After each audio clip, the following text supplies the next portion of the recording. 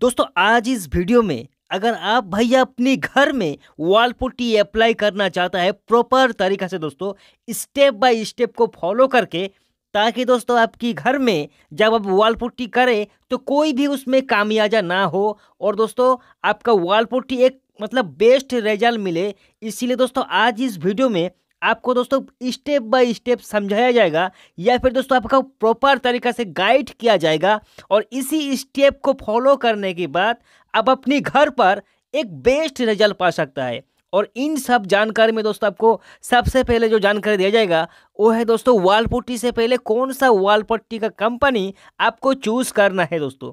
कितनी कोट आपको वाल पुट्टी करना है? वाल पुट्टी का थिकनेस कितना होना चाहिए?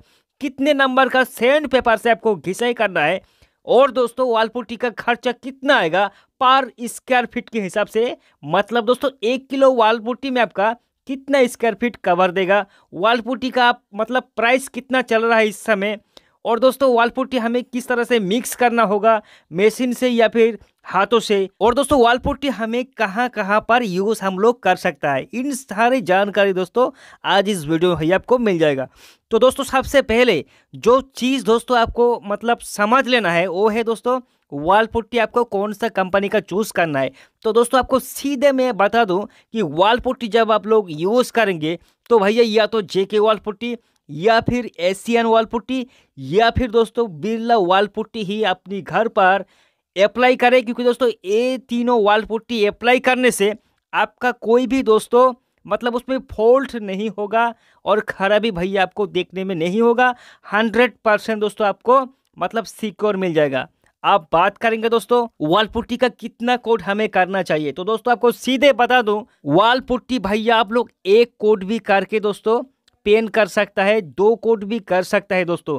लेकिन दोस्तों, आमतौर पर लोग दो कोट वाल पुट्टी करता है। लेकिन मेरी भाई, अगर आपको एक बेस्ट रिज़ल्ट चाहिए, और दोस्तों, अगर आपका वाल थोड़ा ज़्यादा रफ एरिया है तो आपको तीन कोट वाल पुट्टी करना है।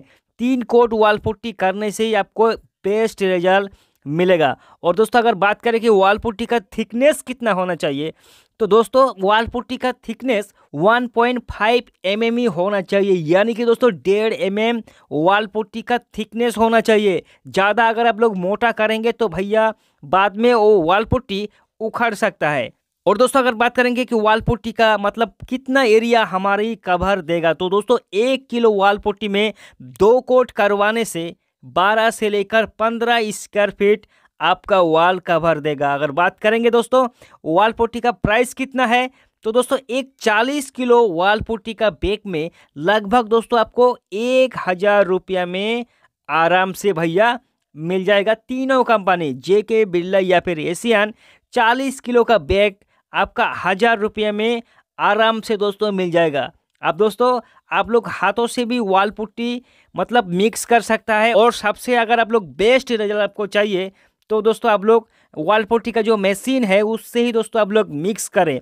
ताकि दोस्तों वाल पुट्टी में बहुत जगह में दाना दाना होता है, वो प्रॉपर तरीका से दोस्तों मिक्स हो जाए। और दोस्तों अगर आप लोग मिक्स करेंगे दोस्तों मशीन से, फिर भी दोस्तों आपको कम से कम दस मिनट तक दोस्तों आपको मिक्स करना है। और दोस्तों अगर आप लोग हाथों से मिक्स करेंगे ना, फिर आपको पंद्रह मिनट तक मिक्स करना है। और वाल पुट्टी लगाने से पहले आप लोग दो कोट या एक कोट प्राइमर लगा सकता है दोस्तों। और वाल पुट्टी थ्री कोट अप्लाई हो जाने के बाद आपको एक या दो कोट अगर आप लोग प्राइमर उसमें अप्लाई करेंगे तो दोस्तों सोने में सुहागा हो जाएगा।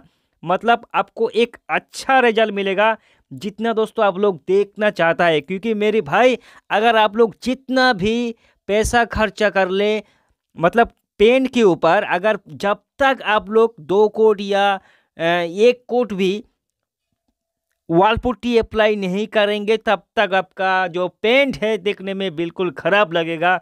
और वाल पुट्टी अप्लाई करने के बाद आपका वाल बहुत ज़्यादा स्मूथ हो जाता है ब्राइटनेस हो जाता है और देखने में लगता है कि भैया इसमें पेंट करने से पहले वाल को जिस तरह से रेडी किया जाता है, उतना रेडी भैया आपको देखने को मिल जाएगा।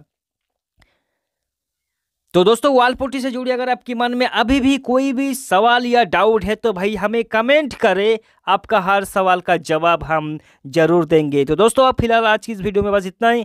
फिर मिलेंगे एक नए वीडियो के साथ। तब तक के लिए जय हिंद बंदे मातरम।